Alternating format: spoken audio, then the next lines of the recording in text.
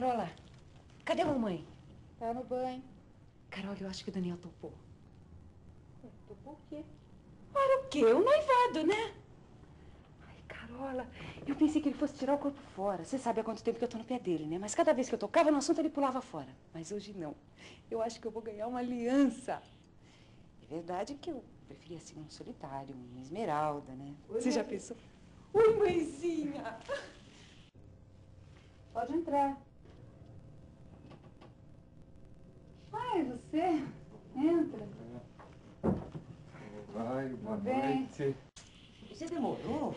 Pois é, mãezinha, hoje meu dia foi maravilhoso. Eu toquei no assunto com o Daniel e fui levando. Que assunto?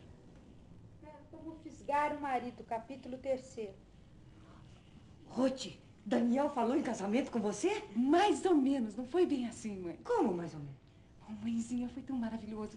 Eu me amarrei tanto no Daniel que eu acho que se ele não casar comigo, eu sou capaz de fazer uma loucura. A, a outra coisa, eu conheci um tio dele, um que é padre. Ele é um cara sensacional, formidável mesmo. Vem me acabar de contar a história no quarto. Eu vou acabar de me arrumar. Vem cá, sim, vem, Carola! Since you went away, the world is closing in on me. Every day I face tomorrow knowing you'll be there. I see your smile in every thing we used to share.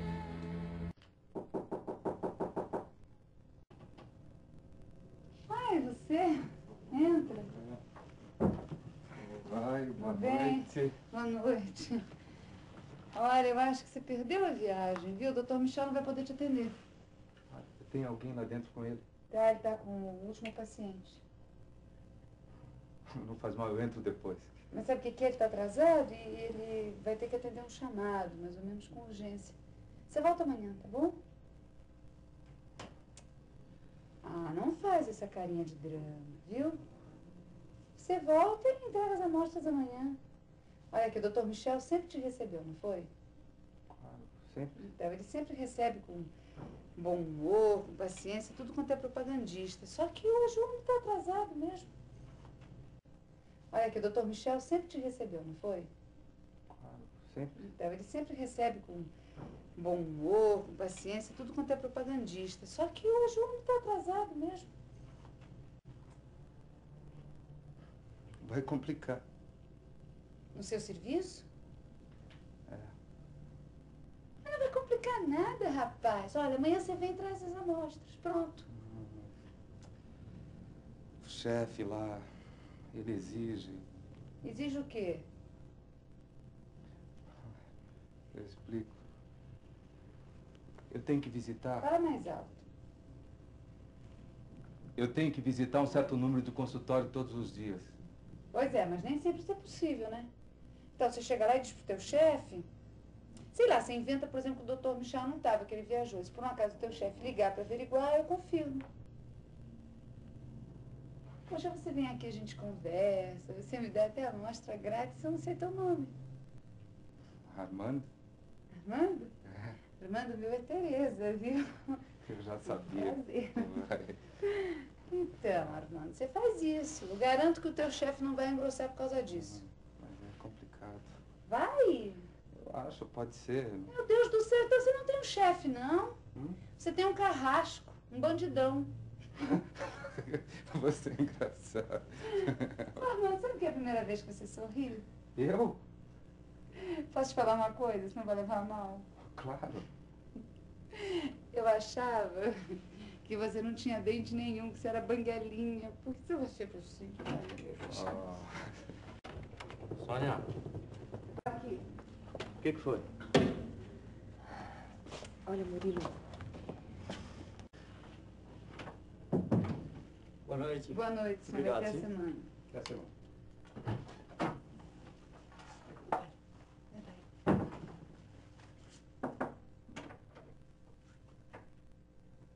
eu tive pensando melhor, meu bem. a- Aquele negócio que o doutor Clóvis falou. Por quê? Ele pediu tanto pra gente na casa dele, falou da filha que fica sozinha quando vem do colégio. A gente podia ir. Sônia, a gente não é parente do homem. Não tem sentido a gente ir lá pagear a garota. Não é pra pagiar, Murilo, é somente pra fazer uma visitinha, não custa. Eu tenho medo que ele, que ele comece a meter coisas na cabeça do Daniel. Celina, o seu filho é um rapaz esclarecido. Por favor, Olavo. Dá um jeito do Francisco parar com essas coisas de espiritismo aqui em casa. Eu gosto muito do meu irmão e não pretendo discutir com ele. Mas ele admira você, respeita. E eu a ele. Por isso nos damos bem. Muita gente me pergunta: como é que o senhor, um padre, pode ter um irmão espírita, frequentar a casa dele? E eu respondo: porque é meu irmão e porque é um homem de bem. Não estamos fazendo fofoca, hein? Ah, você seria incapaz. E eu, Bom, eu, eu já vou indo. Onde é que está o Daniel? no quarto. Eu vou chamar. Não, deixa, deixa. I would climb any mountain, sail across the stormy sea. If that's what it takes me, baby, to show how much you Vim me despedir! Ô, tio, gostei de você. Escuta, Daniel. Quanto a essas premonições. Ah, não, não, não, sem essa, tio, sem essa que a minha cuca tá ficando fundida. Não, não, não. Ah, mas não é nada de anormal. O mundo está cheio de coincidências. É que as suas aconteceram muito próximas uma da outra e por isso a turma estranhou. Tá legal. Mas não se preocupe com o que os outros disserem. E nem procure explicações metafísicas. Tio, tá legal, tudo bem. Mas como é que eu adivinhei que o senhor estava chegando antes do senhor bater na porta, hã? Ah, intuição, telepatia, isso é muito comum. Não é nenhum bicho de sete cabeças. Tudo bem, tá legal. Mas eu avisei aquela moça no bar, hã? Eu avisei. Como é que eu ia saber? Tá bom. O que é que aquela moça estava fazendo naquele bar?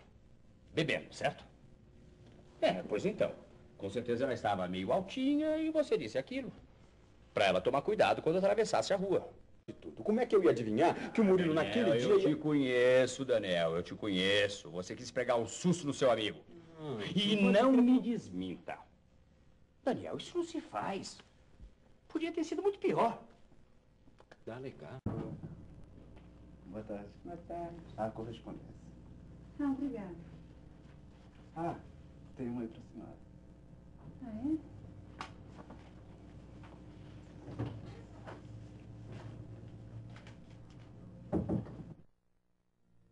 il nostro amore è un altro fallimento, non me la prenderò con te, con lui, né con il vento, perché sono stato io a sollevarti il letto, perché non ti comprai adesso non ti vendo.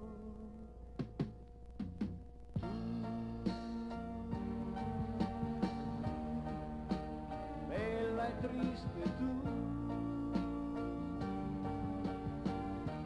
Nós trabalhamos com ele. No supermercado. Ai, querem falar com ele? Quem é, Joana? Mas que surpresa, Sônia, que prazer. Vamos entrando. Boa noite, doutor Cláudio. Eu não esperava. boa noite. Boa noite, boa noite. Vamos entrando, vamos Dá entrando. licença. Mas que prazer. Então vocês resolveram? Mas vamos entrar, fica à Dá vontade. licença. Pois é, doutor Cláudio, você me falou tanto na sua filhinha, eu fiquei pensando. E aí eu e o Murilo resolvemos vir. Poxa, mas é, não sabe como eu lhe agradeço. Ai, gente. A menina já chegou? Já, já chegou sim, ela vem toda semana. Ela estuda num colégio de freiras em Itu. Mas vamos sentar, fica à vontade. Fica à Obrigada. vontade. Vocês bebem alguma coisa? Um martini, um um whisky? Whisky, por favor. Ah. E você, ô, ô Sônia? Ah, não, obrigada, não devo. Nada? Nada. Boa noite. Boa noite. Oi, Analu. Deixa assim. Essa aqui é a Analu. Essa aqui é a Sônia e o Murilo. Tudo bem? São funcionários lá do Como é que supermercado. vai, Ana Lu? Tudo bom. Olha, eles vieram especialmente por sua causa, hein? Para levar um papo com você.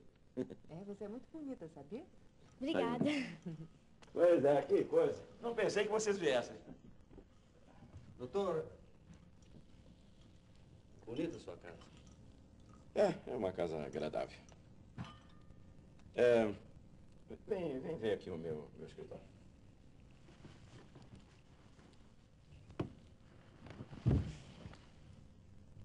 Faz tempo que você trabalha com meu pai? Acho que faz um, um ano, mais ou menos, Ana Lu. Antes, quem trabalhava com seu pai era o meu pai. Mas ele sofreu um acidente lá no trabalho mesmo, se afastou. E daí eu fiquei no lugar dele. É seu namorado? É? É. O rapaz está lá interessado nos meus livros. Ah, ele precisa ver sua estufa. É claro, mostra pra ele, filha. Tá bom, eu mostro. Ela me encanta. É, sim. Não, não, fica à vontade, fica à vontade. Casa é. Obrigada. Mas sabe, Sônia, eu nem sei como lhe agradecer. Eu acho que só mesmo um, um aumento de ordenado, né? Ah, que isso, doutor Clóvis, por favor. Não, é verdade, sabe, Sônia? Eu sou. Eu sou muito grato para aqueles que, que atendem os meus pedidos. Bom, quer dizer que esse sábado não vamos ter a senhora lá, não é? É, não, amanhã é sábado, é meu dia de folga, não é? Eu passei na oficina, peguei o carro. E veio me buscar pra sair. É isso Vai se arrumar um pouco, minha filha. Legal. Até já, amor. Até já.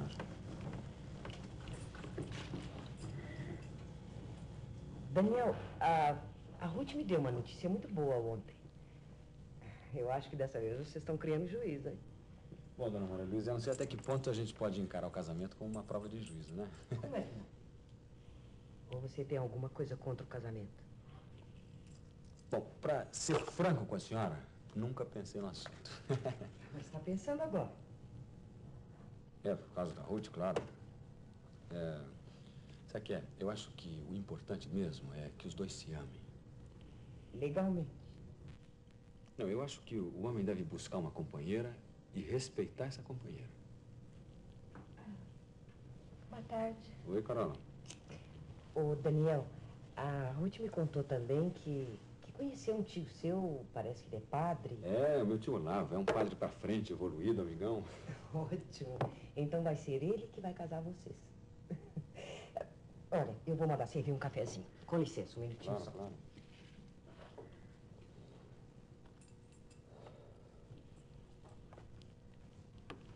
Quer dizer que vai casar mesmo? Tua irmã tá fazendo questão de botar aliancinha no dedo, menina. É. Ninguém tá encostando a espada no teu peito. É, eu também não disse isso, né, meu? Amarra? Escuta, olha, Carola, eu não faço nada que eu não quero fazer, sacou? Hum, não faz o quê? Vive dizendo amém pra tudo que a Ruth quer? Qual é, Carola? Não é nada disso. Coitadinha da minha irmã, pobrezinha. A Ruth é tão burrinha, né? Mas olha, ela ainda não percebeu que você não é homem de casamento. Escuta, que papo furado é esse agora, hein, Carola? Mas por que, que você não diz pra coitadinha tirar o cavalinho dela da chuva, que vai apanhar uma bela de uma gripe? Porque você não tá afim de casar. Você tá afim é da tua liberdade. Carola, escuta aqui, mocinha. Eu acho melhor você botar o nariz onde é da tua conta, tá sabendo? Mas por que isso mesmo? Você é um bobão. É igual aos outros todos. Ah, não enche, vai, Carola. Qual é, É isso hoje? mesmo? O que, que é? Você tá achando que isso tudo vai dar certo? Não vai dar certo coisa nenhuma, não vai dar certo. Você não vai aguentar uma barra pesada. Você não vai aguentar essa barra pesada, não, meu filho. Tá pensando o quê? Que a minha irmã, o quê? A uma Amélia na vida? Não é Amélia, não. Gosta de um confortinho, gosta muito. E você também. O que que é? Vocês... Ah, mas é um par de vadios, é um belíssimo casal. Quem é que vai sustentar essa palhaçada toda? Não, me diz quem é que vai sustentar. Ah, você não entende nada também, porque você é um bobo, um palhaço que não percebe... Carola! Escuta,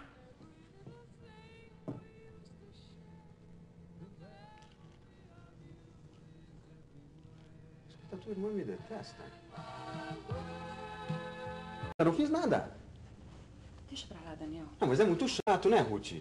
Ah, desde que eu vim aqui, eu sempre notei que a tua irmã não ia com a minha cara. Sempre notei isso. Agora, por que, não sei, né, bem? Ah, Carol, é assim mesmo. Ela quando cisma com as pessoas. É Ah, tá bom, tá bom. Mas logo pra cima de mim, Ruth. Por que por, comigo? Por que comigo, amor? Olha, eu sempre procurei tratar muito bem a sua irmã, ser amigo dela, poxa, levar um papo na maior. Ela sempre me recebe com duas pedras na mão. Por quê? Por quê, amor?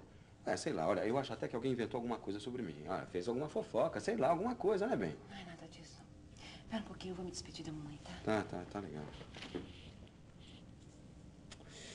Mas por quê, caramba? Por quê? Ah, peraí. Carola, Sai daqui. peraí, peraí, peraí. Eu só quero uma explicação. O que foi que eu te fiz? Falei que eu tinha vontade de falar. Pronto. Carola, eu acho muito bom isso, é isso mesmo. A gente deve dizer o que pensa, entende? A gente deve reagir, deve, deve se defender quando é agredido, entendeu? Agora, eu quero saber o que foi que eu te fiz. Pelo menos conscientemente eu nunca te fiz nada. É, se eu te disse alguma coisa que te ofendi, que, que te magoou, me desculpe, foi sem intenção. Sei, como você fez com o Murilo. Contratou dois marginais. Mas que isso, menina, essa história tá superada. Olha, olha, Carola, ele até já me pediu desculpas, entende? Eu não vou pedir. Ei, nem eu tô sugerindo, vai. E quer fazer o favor de sair do meu quarto, Daniel? Escuta aqui, Carola, eu só vim pedir uma explicação. Tá aí. Você se julga tão importante, tão... Sei lá o que, que você não aguenta escutar uma verdade. Mas que verdade que você me falou, Carola. Qual foi a grande verdade? Que eu sou chato, eu sou bobo. que É eu sou... eu acho, que você é chato, que você é bobo, que você é ignorante, que você é cheio de vento. Carola! Que você... que- Quer fazer o favor de tirar esse homem do meu quarto? Daniel, vamos. Só uma coisa me entristece. O beijo de amor que não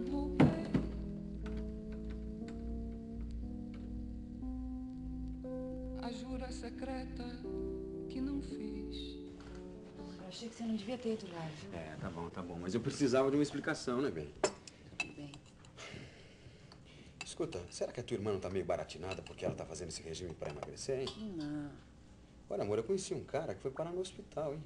Essa história de regime pra emagrecer deu uma crise nervosa nele, sei lá. Não, mas a Carol que tá fazendo regime com prescrição médica, fez exame de colesterol de sangue, de tudo, tá tudo bem. É? Uhum. Mas ela não toma moderador de apetite, não? Então, olha, eu já ouvi um papo aí que tá proibido, não tá?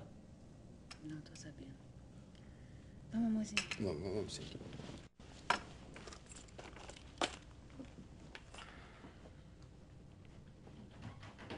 Implicante, sim, senhora.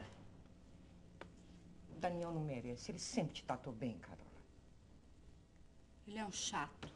Mas, meu Deus do céu, ele vai casar é com Ruth, não é com você. É, ainda bem, eu não queria ele, não, não quero não, mas nem pintado. Agora o que não tá certo você agredir esse rapaz desse jeito, hein? Onde é que você vai? Eu vou visitar a Tereza. Me dá o endereço dela? Eu escrevi no livro de telefone pro amor. A troco de que visitar a Tereza, hein? Ué, não deu vontade, mãe. Só não saiu pra jantar aí ontem com um cara? Eu contei pra vocês. E o nome do cara é Heitor Lopes Nogueira. É, então, a senhora saiu pra jantar com o outro. Blá, blá, blá, blá. A minha irmã saiu com o outro, namorado. Eu posso ir onde eu quiser, onde me der na telha, cada um na sua, né?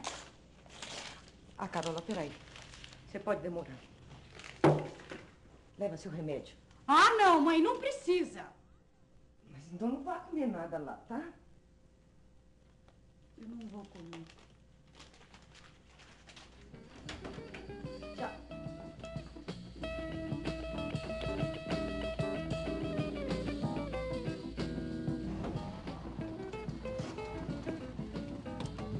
Besta, meu amor. Ô, Carola, onde é que vai?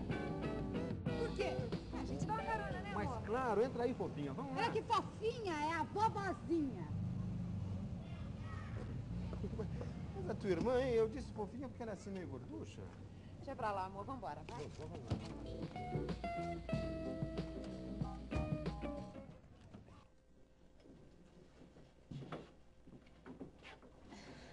Esse aí é meu apartamento. Então vamos. Tá, Tony, eh, espera. Eh, Fica melhor eu ir na frente, não fica? Mas, Mariuxa, você, você não tá com medo, tá? Não é medo, medo, Tony. É. Amor, a, a gente faz aquilo que combinou, tá legal? Espera, tá?